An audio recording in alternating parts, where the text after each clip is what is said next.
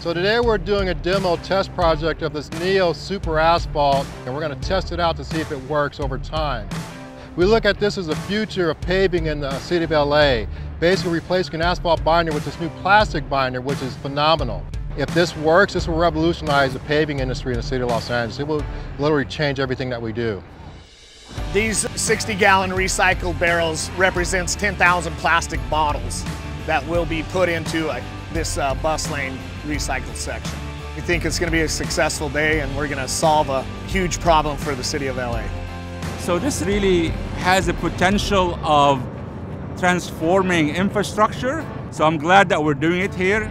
As LA leads, everybody follows.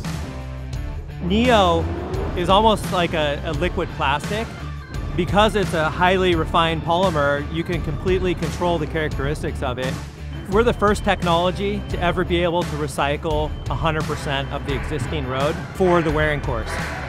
We're actually increasing the strength and durability of the road that's met the end of its life cycle, and we're increasing its life cycle twofold.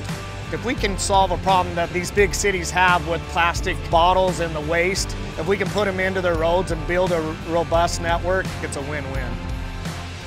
We're the car capital of the world, so we really look towards innovation and other ways that we can reduce our greenhouse carbon emission.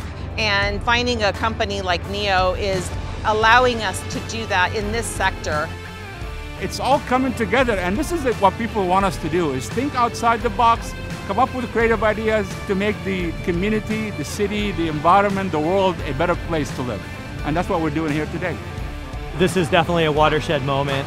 When you step back, we're solving a pretty big problem for the world.